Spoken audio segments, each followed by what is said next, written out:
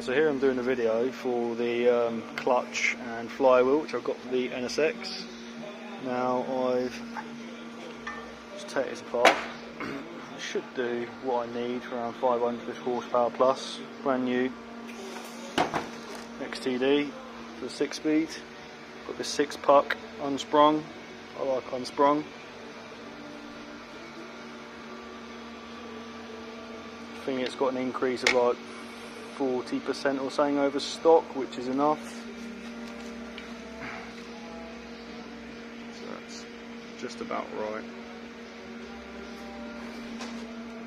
Over there. Nice. Now this flywheel was actually a dual mass flywheel which I have had changed and converted. I took all, had it all machined, had the inner springs taken out and everything, and it's been not only welded, but it's been uh, shimmed in the centre and bolted. We're going to put a new bearing in, that's not in there all the way. All balanced up um, to less than 0.5 of a gram at some certain speed. I've got a spec sheet for it but this is basically better than OEM. Um, this is already how this came, obviously dual mass. These are where the springs would have sat in here, two springs. So yeah, that's that. And that's instead of being like almost 15 kilo, that's now 10 kilo. So we're taking about five kilo weight out of it, four or five kilo weight out of that. Um, it's all skimmed, all fresh, everything. And Obviously, this will come off. This is just uh, stop it from rusting. So yeah, that's. Um, a nice little assembly perfect for the six speed transmission and that just goes on there where have I gone on there like that obviously once the bolts are in it will draw it down a little bit nice little assembly and I've got an OEM um, blueprint uh, clutch release bearing as well. That's it. We're going on my NSX. Nice little addition.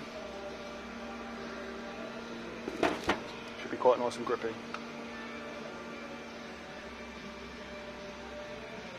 Another little job on the NSX today. I've just removed the aerial. And I didn't realise it actually had a uh, electronic boot release, but I've just realised it's on the inside of the door. I'll show you. It's on the inside of the door, right down there, that button there. Inside my car at a minute. I've got Recaros to go in.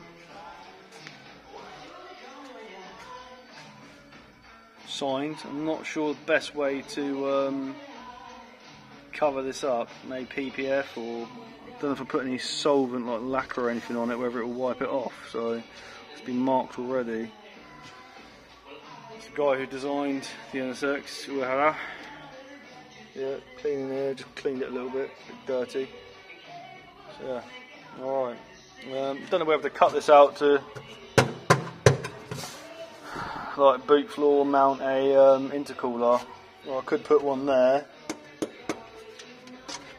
you know, and then plate that off. I'm not really too sure. That might be a better option to be fair. And what have I got behind here?